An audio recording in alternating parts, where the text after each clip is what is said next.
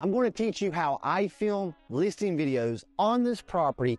And I'm also going to give you a pro tip at the end of this video to get better cinematic footage for your real estate videos. Let's get it. First step is unpacking the camera gear. Today I'm using my Sony a7R4 with three different lenses and my Ronin SC. My lenses are a 85 1.8 and then I have a G Master 24 to 70 2.8 and a Sigma 14 to 24 2.8. So these are the lenses that I use for my real estate videos. To get better at listing videos, you need to understand the focal length of your lens. So right now, I'm going to show you what they look like. This is a 85 millimeter lens, so these are ideal for detailed shots. I am putting the sink faucet as my main focus of this particular clip, and that is where I want to draw my viewers' eyes to.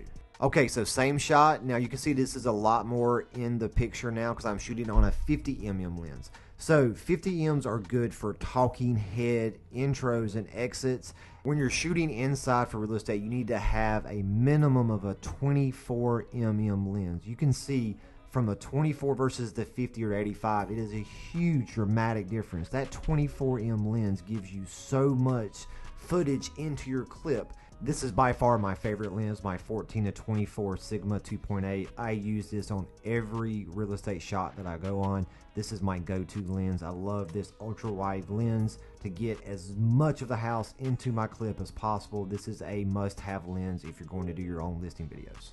If you're like me, you film 99% of the time by yourself, so having a nice tripod is a must have if you're going to start doing your own listing videos. Now, do all of your tripod work first. So anything that requires your tripod, film all that first. Your intro, your exit, any type of other shots. Get that done first because you don't want to waste time jumping back and forth from putting your camera on your gimbal to the tripod and wasting time and energy. Plus, it's just extremely frustrating. As you can see here, it took me over five minutes to get my gimbal balanced. Now that we're balanced, I'm getting all of the exterior footage of the house. Now, when you're dealing with natural sunlight, that can change very quickly. So you cannot waste any type of time trying to get as much footage as possible. So I like to have a entryway, walk into the house towards the front door. I Also like to get shots from left to right. Now, you want to get as many shots as possible of the exterior of the home. You can never have too much footage. So take your time, get as much footage as you need because it's always better to have too much footage than not enough footage. One of the hardest things about doing your own listing videos is knowing what to film. And I get asked this question all the time Mike, what do you film? So, to answer that question, the easiest way possible is you film every angle of every room in every direction possible. So, yes, you're going to go back and forth so many times in one room and you're going to think you have enough footage. And when you go in and start editing this, you're not going to have enough footage. So always get as much footage as possible when you're inside filming. Go down every wall. Go forwards, go backwards. Don't be scared to do it five, six, seven times because you only need that one shot. You're only going to use about 10 to 15% of all of your footage for your listing videos. So you need to make sure they count. So walk back and forth by the kitchen island, by the countertops, through the bathrooms. Do it every way possible just to make sure you have enough footage. Also look at detailed shots. Get detailed fixtures, uh, lightings, faucets. Turn the water on to get some movement going. Walk around the couch. Make sure you have the fans on little things like this make a dramatic difference when it comes to your overall listing video.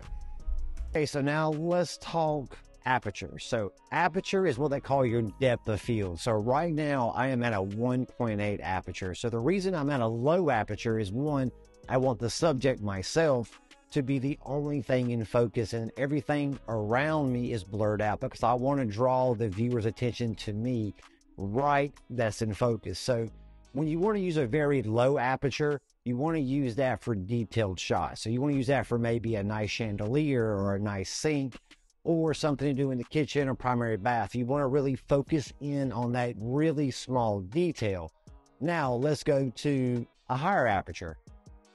Okay, so now we are at a higher aperture. You can already see the difference that you can see that I'm in focus, but also the background behind me is also slightly in focus. So your depth of field is now being more visible when you have a higher aperture.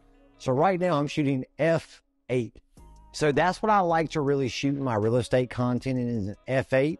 uh, because it gives me a great depth of field so people can see from the living room into the kitchen. Or if you have like an open floor plan, I want to be able to see through the entire length of the house and things are not blurred out. So that's the reason why you want to have a good aperture like f8, 7.1, or even 9 when you're filming inside real estate photography. Now, you have to be careful when you go with a higher aperture that you are adjusting for your ISO. It's not going to let as much light in, so you're going to have to compensate with the higher ISO or fake sunlight. Now, when you add too much ISO, you will now start getting a lot of noise, which you'll see right here. As you can see, that's a lot of noise because I have a higher ISO that I can't pixelate the pixels uh, by using the artificial sunlight. So you need to dial in your ISO, make sure your ISO is comparable, look at your histogram, make sure that you're somewhere in the middle when it comes to your diagram so you know where you're at on your artificial sunlight. Now, let's go even to a higher aperture to like f22. All right, so right now I'm at f22. You can see in the background that the background has came pretty much into focus from the very first shot where it was completely blurred out. So honestly, I hardly ever use the highest aperture when it comes to real estate photography and videography.